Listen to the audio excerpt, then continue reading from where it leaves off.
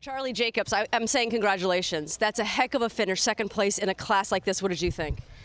Tough trek. Uh, very happy with the outcome. Couldn't be more proud of my mare. Uh, I've had her for some time now. We've moved up from the national divisions into the bigger meter 60 classes.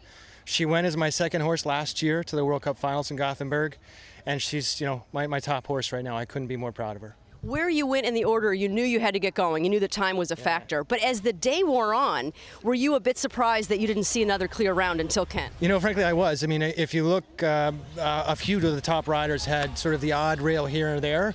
Um, yeah, I was thinking McLain Ward was going to be clean. He had the second to last jump down. I mean, there were a number of very, very good riders that had just what I would call an unfortunate rail. And frankly, you know, if you think about it, um, I'm happy today uh, with our outcome. I obviously wish we had won, but um, you know, a lot of course design, good course designers tend to get uh, riders at different locations, and that's what Alan Wade did today.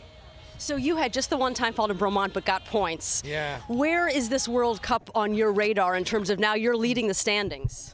I wasn't aware that I'm leading the standings, but that's great to hear. Um, I used my second horse at Bromont um, um, and was fortunate enough to have a clean round, but just a little bit of a time fault.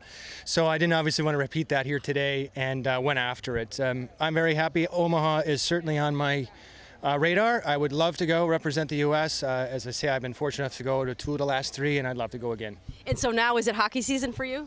You bet. You bet. I've been watching the World Cup last night. Uh, I saw Canada light it up, and um, Bergeron and Marchand, who are both Boston Bruins, are both got a goal last night. So listen, good days. All right, yeah, a good day for you here too. Thanks so much. Thank you.